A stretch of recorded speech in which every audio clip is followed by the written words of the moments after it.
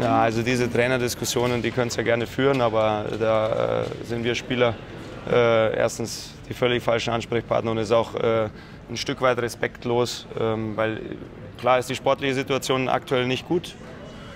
Äh, alles andere, was sich der FC Bayern vorstellt, das ist völlig klar. Äh, und trotzdem arbeiten wir jeden Tag dran, wir Spieler und der Trainer auch, äh, den Bock umzustoßen. Und wie gesagt, ihr könnt eure Analysen machen, aber ihr braucht nicht erwarten, dass wir uns irgendwie selbst zerfleischen, sondern wir, wir stehen zusammen und ähm, ja, wir, wir arbeiten auf, aufs nächste Spiel hin und, und, hoffen, dass wir da den Bock umstoßen können. Aber natürlich äh, muss der Ball wieder ins Netz. Ne? Das, das, ist völlig klar.